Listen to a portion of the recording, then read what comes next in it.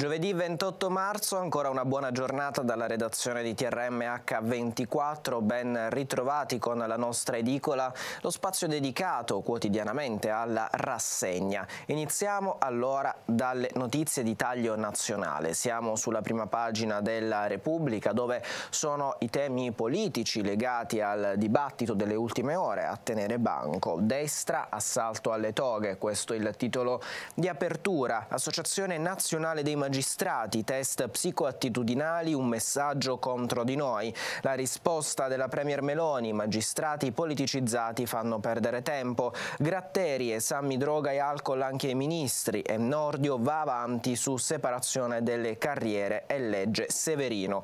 Salvini contro Mattarella, no alla scuola chiusa per il Ramadan. Il commento se la legalità diventa illegale è l'articolo firmato da Michele Ainis.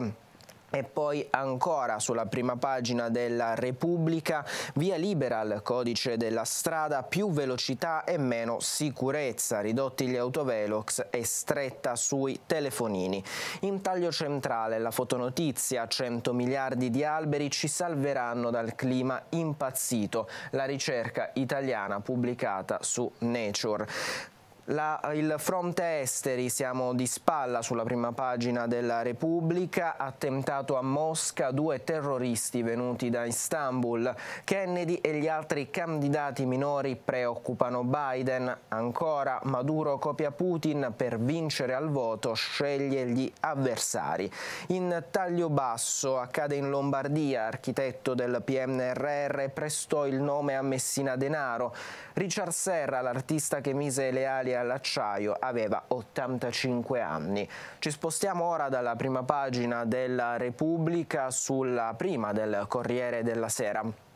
Anche in questo caso i temi politici in apertura, focus però sul super bonus, regole e tensioni e sulla giustizia, scontro per i test alle toghe, Nordio, ora separiamo le carriere, Forza Italia, informati solo all'ultimo, va modificato, Giorgetti pensa ai conti, costi per 200 miliardi.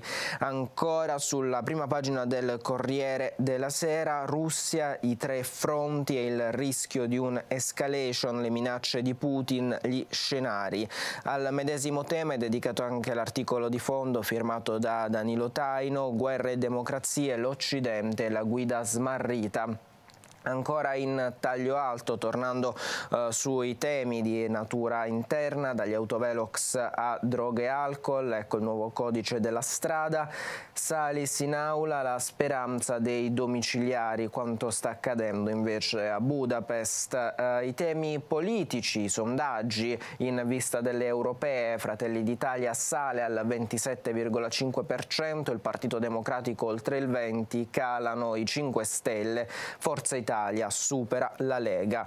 In taglio centrale sulla prima del Corriere della Sera la fotonotizia Leone, le carte inedite, la mia solitudine, l'articolo firmato da Walter Veltroni, l'ex presidente, lo scandalo Lockheed, le frasi di Andreotti, le dimissioni.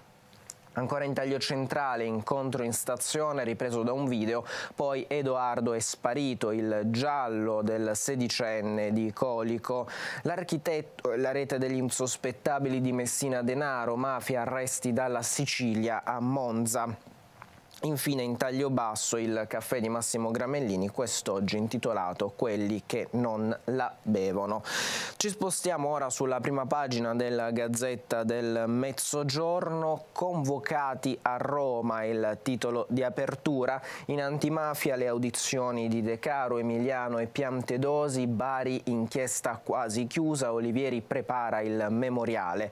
I focus all'interno della Gazzetta, il sindaco sono pronto per andare andare alle europee con la mia esperienza, foti di Fratelli d'Italia, ma nessuno ha ancora spiegato tutti i cambi di versione.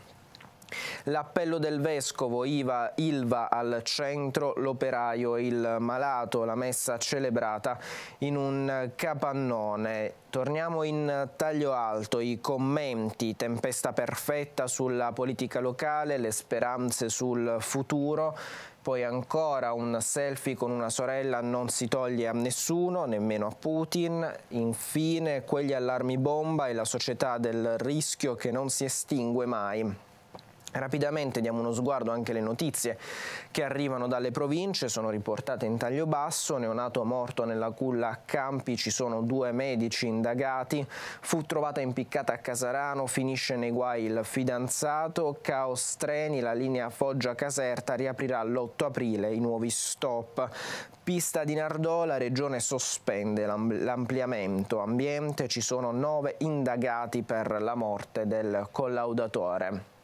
Dalla prima pagina della Gazzetta del Mezzogiorno ci spostiamo ora sulla prima della Repubblica Bari.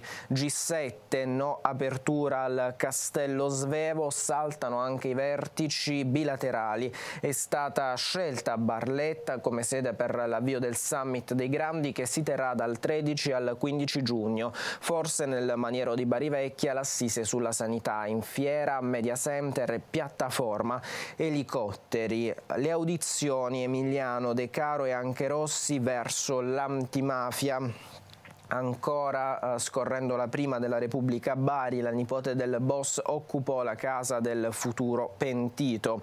In taglio centrale la fotonotizia eh, è relativa al titolo di apertura, quindi al G7. La foto ci racconta della riunione che si è svolta in Giappone lo scorso anno. Cambiando invece argomento, domande e risposte, se i commissari finiscono prima lo scioglimento blocca le elezioni, possibili scenari che potrebbero potrebbero riguardare quindi la città di Bari. L'inchiesta di spalla, gli attentati a Canonico per fargli vendere il Foggia Calcio, la frana dall'8 aprile sarà riattivata la ferrovia e poi eh, l'annuncio di J10 2024 torna alla festa dello sport. Diamo ora uno sguardo anche alle pagine interne dove vengono approfondite chiaramente le notizie che eh, abbiamo appena letto eh, ripartiamo dal G7 no, al Castello Svevo, motivi di sicurezza. L'apertura va a Barletta, il maniero di Barivecchia non dovrebbe ospitare nemmeno gli incontri bilaterali, forse ci sarà il summit della sanità in fiera Media Center e la piattaforma per gli elicotteri. Il raduno dei grandi si terrà dal 13 al 15 giugno, in ballottaggio c'era anche l'ipotesi di Castel del Monte. Sulla stessa pagina la polemica, Canfora querelato da Meloni associazioni, con lui 30 associazioni, ecco chi sostiene il docente.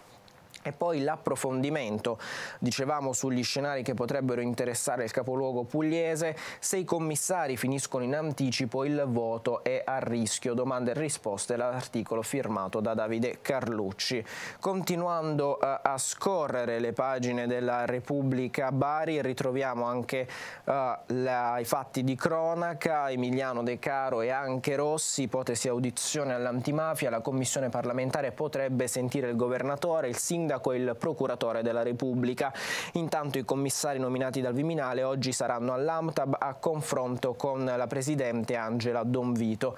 In forse l'ascolto del Ministro dell'Interno Matteo Piantedosi ventilato dai membri dell'opposizione nella bicamerale. Così la nipote del boss occupò abusivamente la casa popolare dell'aspirante pentito. Nell'abitazione sono rimasti anche gli arredi, compresi i peluche dei bimbi. Ci spostiamo ora sulla prima pagina del Corriere del Mezzogiorno.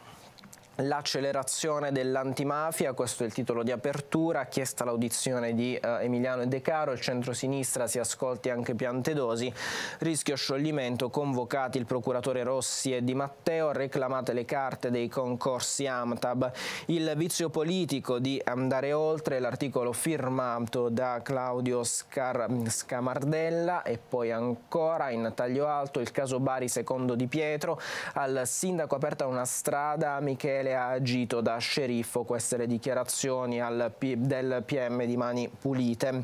In taglio centrale un bus per festeggiare, agricoltore 73 anni, si laurea in medicina, la storia Enzo e il viaggio con gli amici fino a Napoli. Le notizie riportate di spalla, la regione si inchina all'Unione Europea, ha sospeso l'accordo di programma con Porsche, in calo gli ordini di e-bike, Bosch nell'incubo esuberi, Pittella è il sogno di rivalsa, così farò vincere Bardi, l'ex presidente della Basilicata. Impiccata in casa, indagato il fidanzato, svolta nel giallo di Casarano, la madre di Roberta, passo in direzione della verità. Anche in questo caso diamo uno sguardo alle pagine interne del Corriere del Mezzogiorno. Pista di Nardò, la regione si ferma dopo i rilievi dell'Unione Europea, il governatore spesso sospeso l'accordo di programma, D'Amato dichiara vinta la prima battaglia, ora salviamo il bosco. Bosch ritorna all'incubo degli esuberi, Falcetta, anche l'e-bike non decolla, presidio in regione durante il tavolo di crisi, siamo preoccupati l'azienda prenda impegni. L'antimafia chiama Emiliano e De Caro ma si convochi anche Piantedosi Morosi, chiesta l'audizione di Rossi e di Matteo, ex Amtab Dattis dichiara aspettiamo tutte le carte. Il sindaco coadiuvi l'ispezione, il racconto del mio amico Michele come una scena da film western di Pietro, PM di Mani Pulite, non si trovano accordi con il crimine, queste le Uh, sue dichiarazioni. Dal fronte della politica lucana, Pittella, la rivalsa è servita, non voluto da PD e Movimento 5 Stelle, perciò farò vincere Bardi. Marcello, ex presidente della Basilicata, mio fratello, lo rispetto. Ci spostiamo ora sulla prima pagina dell'edicola del Sud. Capriati in, campio, in campo, l'antimafia, Emiliano e De Caro chiariscano il caso, la commissione ascolterà governatore e sindaco, poi toccherà al pubblico ministero Rossi e al ministro Piantedosi. Faro degli ispettori su interinali e concorsi all'AMTAB, la commissione al lavoro. E poi in taglio centrale Porsche stop all'accordo, la pista non sarà ampliata. Tra le Cese e la Forgia, ora è guerra sui sondaggi sondaggi, il capoluogo alle urne, in taglio basso Stellantis 500 tagli, Tabarelli sull'ex Silva, noi i più puliti. Diamo ora uno sguardo alla prima pagina del quotidiano di Bari, il titolo di apertura De Caro ed Emiliano convocati dalla commissione antimafia, ma la decisione di udire il primo cittadino barese e il governatore pugliese sul caso Bari dovrebbe essere presa dopo Pasqua. In uh, taglio centrale aggressioni agli operatori sanitari si procede d'ufficio, uh, Andreula dell'Opibari un passo avanti a tutela del lavoro degli infermieri. Il quotidiano di Foggia, il titolo di apertura, frana sulla uh, Foggia Benevento, la linea sarà riattivata dall'8 aprile, oltre 70 tecnici di rete ferroviaria italiana imprese appaltatrici qualificate stanno lavorando senza sosta per ridurre i disagi e anticipare anticipare la riapertura. Infine il titolo di apertura del Sole 24 ore per le notizie di taglio economico, super bonus, comunicazioni antifrode, maxi sanzione per chi non invia i dati e poi in taglio centrale dal PNRR ai fondi nazionali un miliardo per decarbonizzare gli impianti ex Ilva. Noi ci fermiamo qui, vi ringraziamo per l'attenzione e a tutti l'augurio di una buona giornata.